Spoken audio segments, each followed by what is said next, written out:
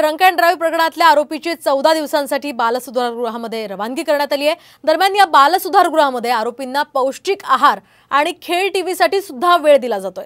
याच प्रकरणातल्या अल्पवयीन आरोपीचा बालसुधारगृहामधला एक दिनक्रम कसा असेल पाहूयात. तर सकाळी आठ ते दहा वाजेपर्यंत आवराआवर करून नाश्ता करावा लागणार आहे.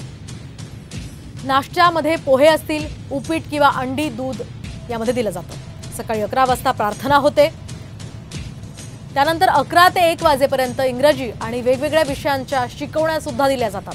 तर त्यानंतर दुपारी एक ते चार वाजेपर्यंत डॉर्मेटरीमध्ये या ठिकाणी जायचं असतं. तर दुपारी चार वाजता पुन्हा एकदा नाश्ता दिला जातो.